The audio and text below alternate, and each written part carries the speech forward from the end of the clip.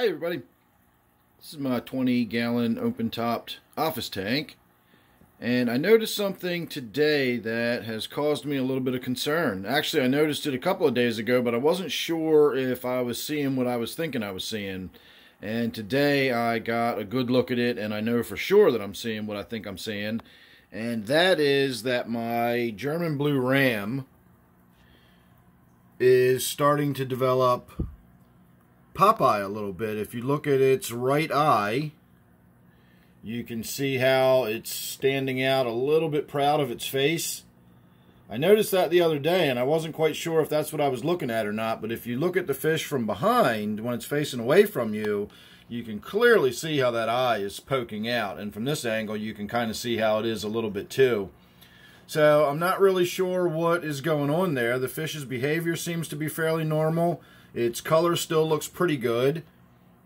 Although I've got to say today it does look a little worse than it has been and its behavior has been a little more uh, lethargic. It's been a little bit more uh, just kind of sitting down there in the corner underneath the heater. So I'm not really sure what's going on in this tank. I know that they're a very soft water fish.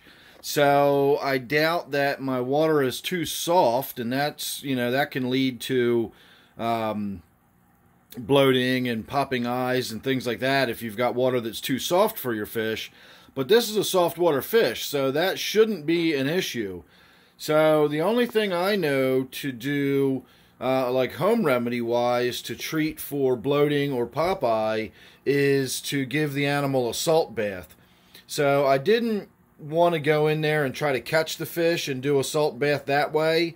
And I want it to be a longer term uh, treatment. So what I did was I did one uh, teaspoon for a gallon of Epsom salts, but I only did 10 gallons worth of uh, mixture and then I poured it into the tank. So basically what we're doing is a half a teaspoon per gallon in this tank. And I think that will be enough that it will give me the desired effect of increasing the salinity of the tank enough without increasing the salinity so much that this soft water fish is going to struggle with, you know, having to deal with extra minerals in the water. Now, I know that the Epsom salts won't account for hardness necessarily, but it does raise the total dissolved solids, and that may affect the way a soft water fish osmoregulates. Now, in this case, I'm hoping that's the case. That's what I want to do. I want to draw water out of the fish's body and hope that reduces the swelling in the eye, and therefore increasing the salinity in the tank uh, will hopefully have that effect. It will hopefully draw some of that um, water out of the fish's body and reduce some of that swelling. I've looked around at the various medications I've got on hand, and most of them seem like they're for external type stuff. The general cure seems to be more for external uh, parasites or internal parasites or whatever. Um, I've got some fungus cure that turned my uh, 125 native tank, it turned to green, but it did cure the freshwater velvet I had going on in that tank. Uh, the only thing I have that really specifically says that it deals with Popeye is this Maracyn 2 and it says it deals with both Popeye and dropsy, and both of those are issues that are often related to water retention. Now, whether that's water retention due to uh, some sort of bacterial infection or some of the internal systems within the fish aren't functioning properly, I don't know. But when a fish is all bloated up with dropsy, that's what's causing that swelling. Is it's just it's swelling up with water.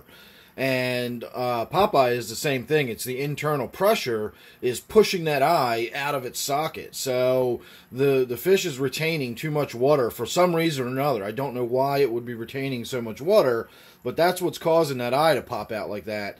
So salting the tank with some Epsom salts might help. I'm going to give that overnight and see if the fish doesn't look any better in the morning and then if that's not the case, if it's not starting to look better, I guess I'll start treating with that Maracyn 2 and see if that has any kind of an impact. I looked uh, on the playlist here for my office tank. I went all the way back to my very first video where I revealed this fish. I'd had it for about a month before I revealed it, or at least several weeks before I revealed it. So the best I can figure, I got this fish around mid-August. I'm sorry, mid-July and then the very first video of it was in the beginning of August. So it's been about four months exactly that I've had this fish, and it's been doing really well up until now. I was reluctant in the beginning to get another GBR because every time I've ever gotten a GBR, they've never done well in my water, and I always thought it was my water rather than the temperature of my water. So this fish I've put in a tank where I've got the temperature higher, but I'm keeping it the same way I would have kept any other fish. I'm not doing anything special by uh, keeping it in particularly low nitrates uh, or anything like that. I'm just maintaining this tank the way I maintain all of my tanks. Uh, the only difference is this tank is much warmer than my other tanks. And so far, I've got to say that I've been really happy with what I've seen. Every other GBR I got uh, early on in my fish keeping hobby, the reason I wasn't getting any new GBRs was because they all faded away uh, within a matter of weeks and they immediately looked bad. Their color washed out, their behavior was lethargic. They basically started off looking kind of rough and went downhill from there until they eventually died. So what I'm seeing now is completely different than my experience in the past where I had limited success with the GBRs. Uh, this is something completely different. This is Popeye, and I don't know whether that's caused by some sort of infection or again if it's caused by my water. Uh, we could probably have the discussion about whether this you know particular type of fish. My whole um, concern about this fish is is this fish truly really highly sensitive to nitrates or not. I personally don't believe it is. I still don't believe it is. I don't think that nitrates have anything to do uh, with the Popeye or with whatever issues I'm having right now, but I'm sure some people out there will think it is, and if they want to, you know, comment or anybody wants to have that discussion about whether or not uh, this tank being, you know, yeah, you know, 40 parts per million is usually about where it gets up to, anywhere between 40 and 60 parts, and then I'll do a water change and probably bring it back down to, you know, 20, 30 parts per million, somewhere in that neighborhood. But, you know, I'm not going to lie, this tank never gets down to 5 parts per million or 10 parts per million.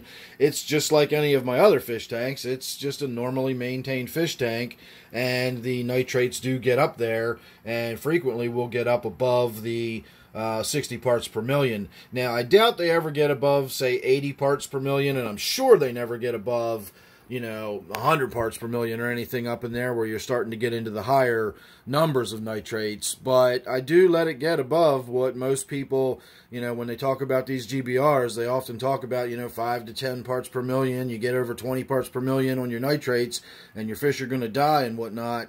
And I haven't found that to be the case. Unless, of course, months and months and months of exposure causes, you know, the fish to develop Popeye or something that's you know that hasn't been my understanding of what people were you know trying to say that these fish are um, you know sensitive to nitrates in that regard. See now you can see how that eye is sort of popping out, sticking off the side of its head a little bit. It's not bad, but it's definitely doing it. It's definitely uh, not my imagination that this fish's eye is popping out of its head a little bit.